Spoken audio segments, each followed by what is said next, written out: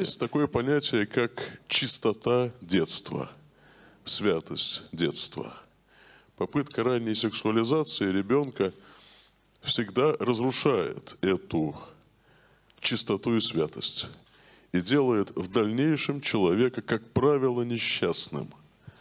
Ты сталкиваешься как священник и на исповеди, и во время каких-то прямых эфиров, бесед на радио, на телевидении с молодыми стариками, которым в 17 лет скучно жить и не хочется жить, которые не имели детства, не знали ни сами, ни от родителей, ни из школы, ни из культуры о том, что такое чистота детства и святость детства.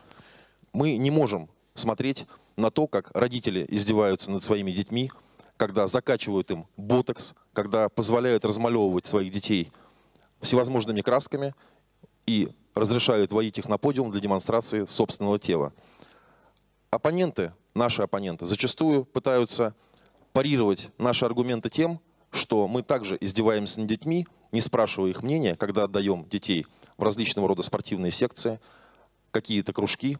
Они абсолютно не понимают, что когда мы детям пытаемся привить какие-то навыки, когда мы пытаемся дать должный багаж знаний и пытаемся привить детям то, что в жизни ничего не дается просто так, без каких-либо усилий, для них это, наверное, не является каким-то аргументом. Мы должны четко с вами понимать о том, что запретив даже такую форму, как конкурсы красоты, те, кто являются организаторами и кто зарабатывают на самом деле огромные деньги на этих мероприятиях, будут искать лазейки – будут искать лазейки для того, чтобы продолжать свою преступную деятельность. В последние десятилетия мы очень часто дискутируем на те темы, на которые, с моей точки зрения, дискуссии не нужны.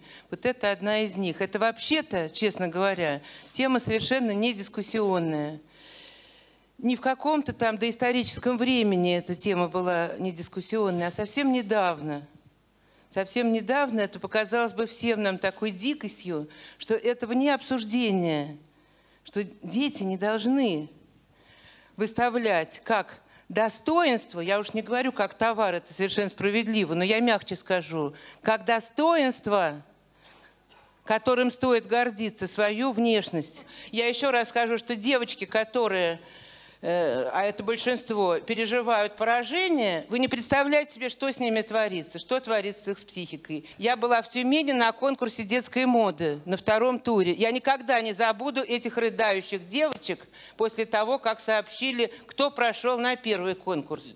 А, и я думаю, что такой закон должен быть принят, потому что э, ряд родителей не понимают, просто не понимают, э, какой вред они наносят своим детям вот, участием в подобных мероприятиях. Поэтому Поэтому то, что государство должно защитить детей э, в этом плане, мне кажется, это совершенно понятно и очевидно. Э, и наша ассоциация, вот опять же уже тут и Тюмени называли, родительские комитеты, э, параллельно с полицией нравов как-то начала эту деятельность, и мы сейчас вот действуем в едином таком ключе. Это говорит о том, что вопрос уже назрел, мы уже теперь сами понимаем, да, прошли определенный путь, насколько это пагубно для наших детей. И я думаю, что мы просто должны все согласиться, по крайней мере, приятно, что все участвующие в брифинге э, согласны, но я надеюсь, что и здесь мы найдем общий э, в зале э, какой-то консенсус на эту тему, потому что действительно очень важно, чтобы дети правильно развивались. А, они очень быстро переименовываются. Что делать с этим законопроектом, если вы напишете про конкурсы красоты? Они уже назвались школами моделей. Уже. Значит, они просто изменят слова суть абсолютно не меняется. Это очень развитый бизнес. Спрос идиотов, родителей, иначе не назовешь, на эти услуги велик. А эти шоу-продюсеры, вот эм, около гламурные, это активно эксплуатируют. Ну, я просто провел опрос, у меня свое радио есть э, в интернете, и я провел опрос, надо ли... Сейчас я вот открою. Считаете ли вы, что детские конкурсы красоты надо запретить? Опрос проводился неделю. Да, ответило 93%. Нет, ответила 6%. О, о, да, действительно, хороший вопрос. Девочки, кем вы хотите стать, когда вырастете? Я хочу стать художницей. Так. Э, я пока не знаю. Дизайнером. Фигуристкой. А зачем тогда конкурс красоты? Вот тебе что он дает? Мне дает это какие-то новые впечатления, посмотреть, как это все. А если ты проиграешь? Для кого должны быть умные и Все равно просто главное участие, а не победа. Так. А для кого? да, спасибо. О, быть умной и красивой для девочки, это для кого? Для всех и для родителей в самую первую очередь. Когда задаешь вопрос родителям, а скажите, пожалуйста, для чего вы выкладываете огромное количество фотографий своих детишек маленьких а, в соцсетях? А мы гордимся своими детьми. Простите, а для того, чтобы гордиться своим ребенком, их нужно фотографии выкладывать для всеобщего доступа. Так вот, сотрудник, который занимается по борьбе с педофилией, сказал, вы, говорит, даже себе представить не можете, друзья, что творится сегодня, вот уже об этом немножко говорилось, что творится в интернете в этом направлении.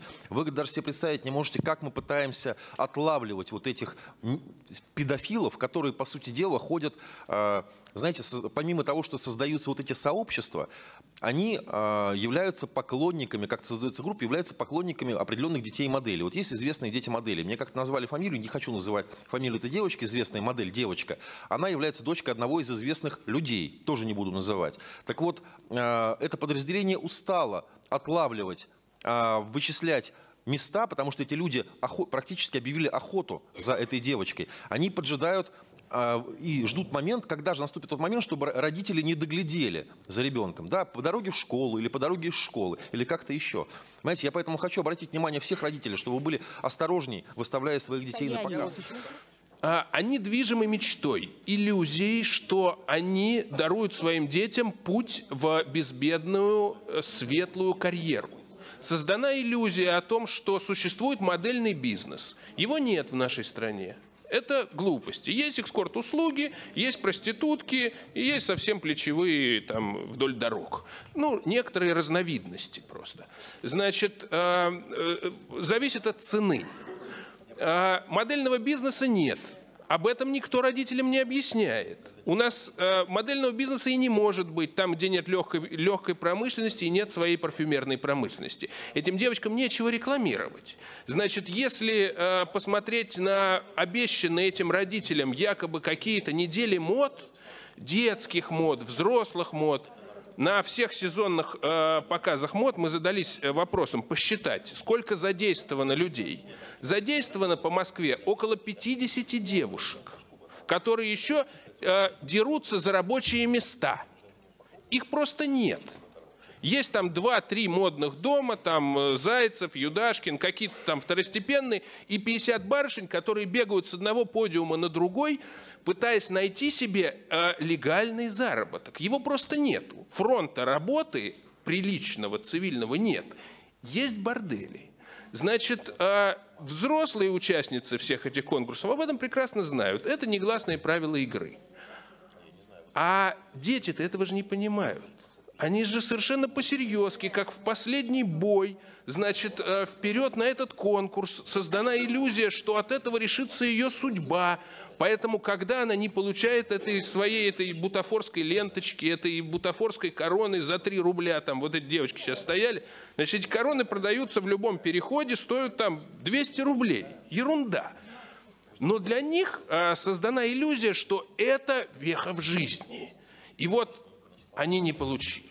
Они проиграли. Они еще не понимают, при чем механизмы. Механизмы тоже вполне показали, и все доказательства есть, по-моему, для множества уголовных дел, в принципе. Просто это никому не нужно в нашей стране.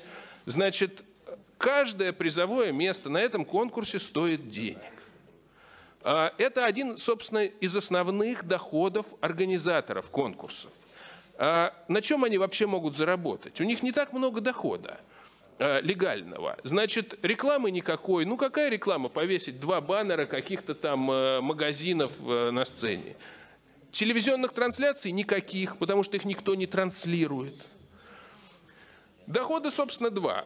За деньги поучить, якобы поучить этих деток ходить, виляя попой, сделать им портфолио по 1000 рублей за фотографию, у которой цена там 2 рубля, и продать призовые места.